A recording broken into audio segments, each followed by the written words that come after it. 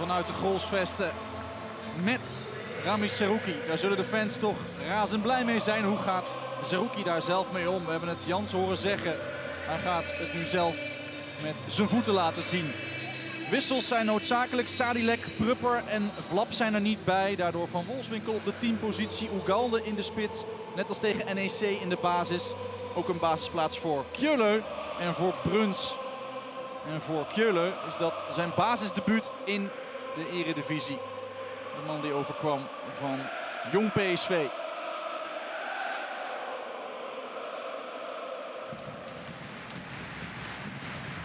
Scheidsrechter is Mark Nachtegaal. Voor de eerste keer in zijn carrière is hij scheidsrechter in de eredivisie bij een wedstrijd van Twente in de Goalsvesten.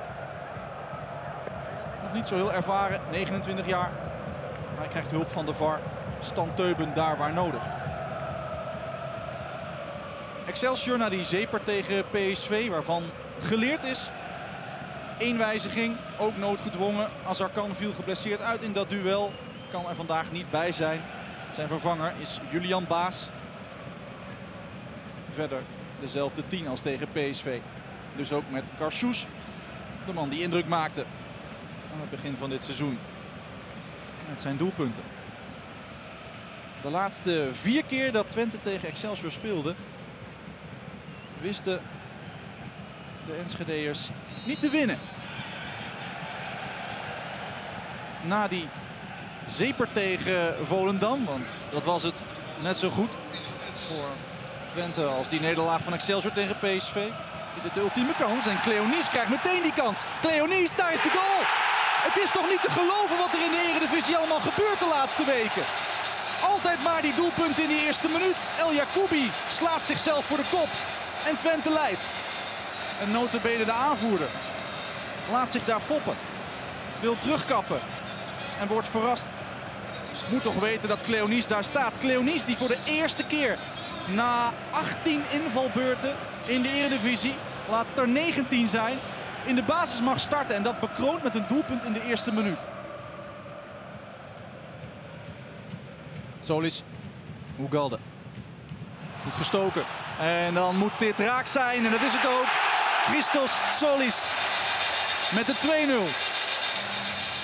2-0. Alleen gaat de vlag de lucht in. En kan de muziek dus ook uit. Natuurlijk even afwachten. Misschien dat het slim is om die muziek nog even te laten draaien. Want je weet het maar nooit met de VAR in de buurt. Het is net over het randje waarschijnlijk. Al is die voet van On ook nog op die 16 meterlijn. Wordt uh, kiele kiele. Het is een doelpunt.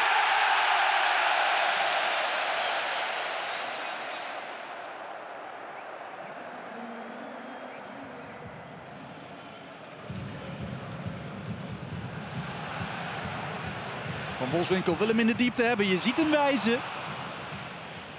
Je ziet hem loeren. Ogalde krijgt hem er nog niet. Krijgt hem wel bij Zerouki. Die krijgt hier de vrije trap. Hoorde het fluitsignaal van Nachtegaal niet. Smal trapt. Goeie bal. En dit zou toch de 3-0 kunnen zijn. Misschien wel moeten zijn. Maar dat is hij niet. Omdat die bal niet wordt binnengewerkt door Ilgers. Gouden kans toch.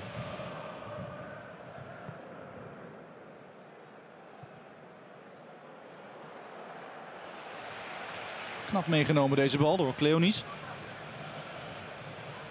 Chua wel heel makkelijk voorbij. Daar is de volgende Twente kans. En Van Wolfswinkel krijgt hem er niet in.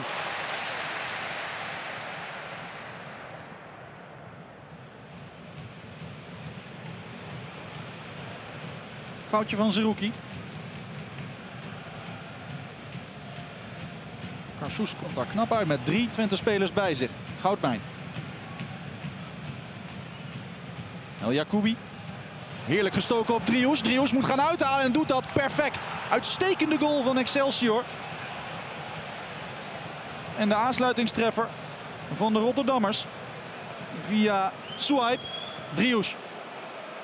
Nu is de vlag naar beneden gebleven. Maar ja, blijft de opdracht hetzelfde voor de VAR. Nog even checken of alles klopt. De scheidsrechter is onderweg naar de plek waar het gebeurde. En dan heb je toch al vaak voor Excelsior een slecht voorgevoel. En dat voorgevoel klopt. Geen 2-1.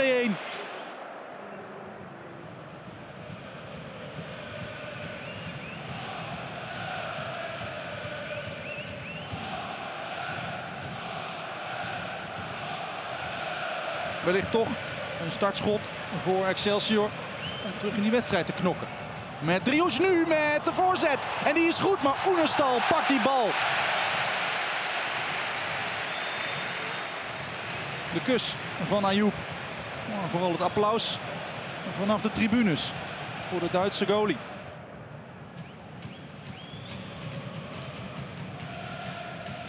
Van Wolfswinkel, overstapje. 1-2'tje dan eigenlijk met Oegal. En dan krijgt hij met mazzel nog terug van Wolfswinkel. En dan schiet hij hem in de verre hoek net naast.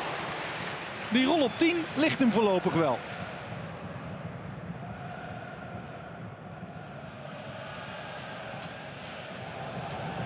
Horemans.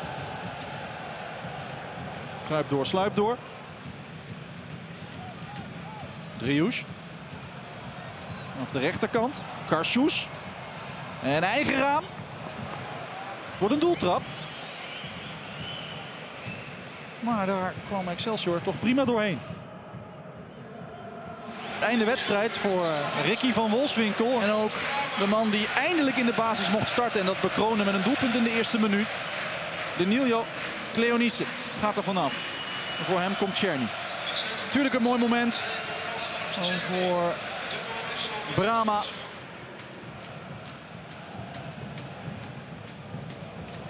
Czerny loopt zich al snel vast op Ayoub.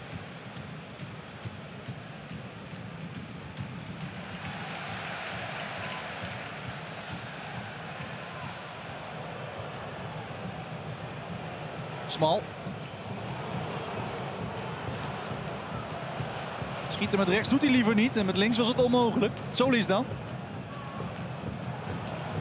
Heel veel ruimte weer bij Smal voor een goede voorzet. Hij chipt hem perfect. Echt perfect. Voor de voeten van Václav Czerny. 3-0. Terechte knuffel van de Tsjech voor Gijs Smal. Uitstekende seizoenstart van hem, dat is al vaker gezegd.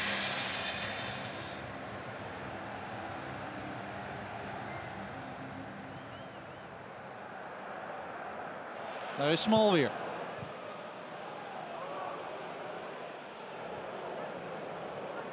Door de benen bij Baas. Die nog even een duwtje geeft in de rug. Zo van, wat maak jij mij nou? Piet View, dat klinkt hier nu. En dit is ook zo'n paas, zo'n voorzet waar je de Fiet View voor uit de kast kan halen. Zo is het echt even een minuutje lang genieten hier. Maar waar kwam dat ineens vandaan bij Gijs Smal? Hopsakee. Dan laat je iemand echt in vertwijfeling achter. Julian Baas, echt schitterend. Slechte kaats van Kjöle. Smal lost het in eerste instantie dan weer op. Drius. Komt er weer voorbij, Drius. En een poging tot een omhaal is het eerste wapenfeit van Mike van Duin in deze wedstrijd. En van het opzicht valt Drius bij Excelsior toch verreweg het meest op.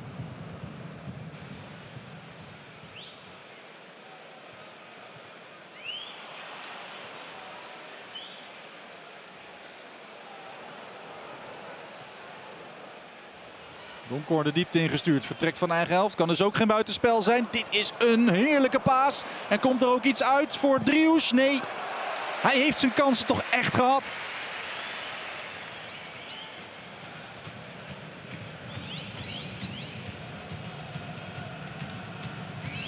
Czerny.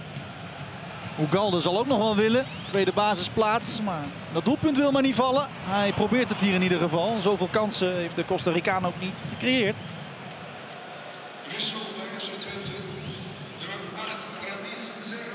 Laatste wissel van Ron Jans. Hoort applaus voor Ramis Serouki. Dat wordt beantwoord door de Algerijns international. Hij blijft in Enschede. Het is dus zeker geen afscheidsapplaus.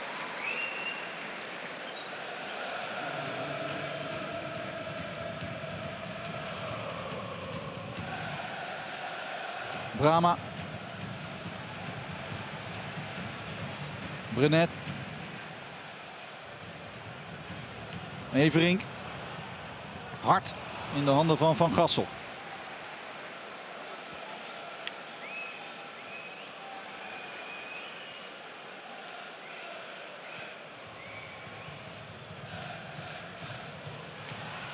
De enige die de bal niet kwijt is, is Tjerny. En die zorgt dus voor die kers op de taart.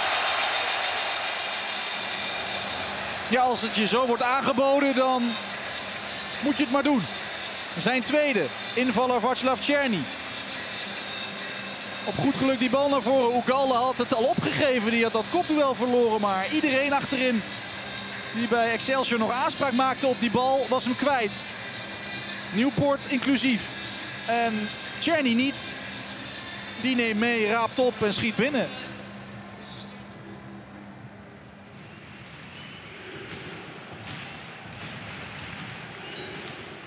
Het laatste fluitsignaal van Mark Nachtegaal. Twente boekt een eclatante overwinning. Zonder dat het zelf echt geweldig speelde. Het was een wedstrijd als een uh, meanderend riviertje. Een wedstrijd met een paar scherpe bochtjes en scherpe kantjes en randjes. Leuke momenten. Ook een aantal momenten waarop weinig gebeurde. Maar dat had te maken met de al vroeg ontstaande voorsprong voor Twente van twee goals. Dat is toch weer een leermoment voor Marinus Dijkhuizen en zijn ploeg geweest. Dat ging veel te makkelijk. En zo liep uiteindelijk Twente van 2-0 nog uit naar 4-0. Dankzij Václav Tcherny.